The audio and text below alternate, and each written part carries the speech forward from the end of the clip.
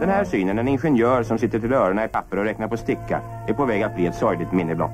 Så där kunde han få sitta i månader för att bestämma hur han ska hushålla med vattnet. Nu kan han ta bäsken till hjälp. Ja, vi tänker här inte närmast på den sköna damen utan på matematikmaskinen bäsk. Den uppställda prognosen förs över på en hålremsa.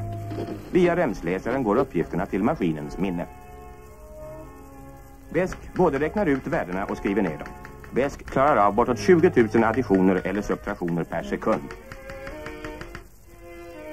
Ett beräkningsjobb som förr tog 6-8 veckor, det klarar matematikmaskinen på en kvart. Kommentarer är överflödiga.